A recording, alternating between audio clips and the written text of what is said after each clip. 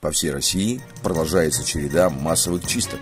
Наказание настигает и тех, кто пытается навариться на имуществе Минобороны. Так, в Калужской области директор некоммерческой организации присвоил себе самолеты Минобороны для последующей перепродажи третьим лицам. Сумма ущерба составила почти 5 миллионов рублей. Предприниматели задержали сотрудники ФСБ. Он приговорен к пяти годам лишения свободы условно и обязательным погашением нанесенного ущерба Российской Федерации.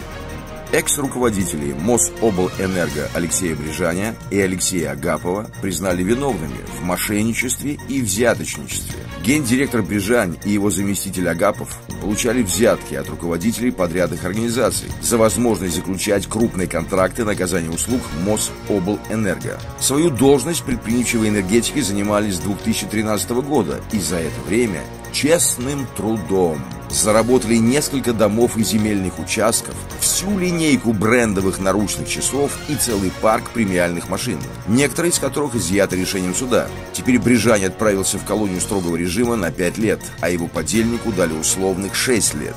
В Екатеринбурге чиновник пытался навариться на госконтрактах на строительство базы поисково-спасательного отряда МЧС. Так, он завысил итоговую цену работ, и заказчик переплатил в общей сложности свыше 200 миллионов бюджетных рублей. Еще 73 миллиона по аналогичной схеме обвиняемый вывел в ходе строительства водно-спасательной станции. Суд приговорил чиновника к пяти годам условно и штрафу в 700 тысяч рублей за мошенничество в особо крупном размере. Редакция «Момента истины» продолжает борьбу с коррупцией. На прошлой неделе в нашу редакцию обратились жители дома, которых строительная компания «Ава Групп» буквально держит в заложниках. Многомиллионные долги родственников верхушки компании вешают на обычных жителей. Ссылка на полное интервью по этой теме размещена в комментариях.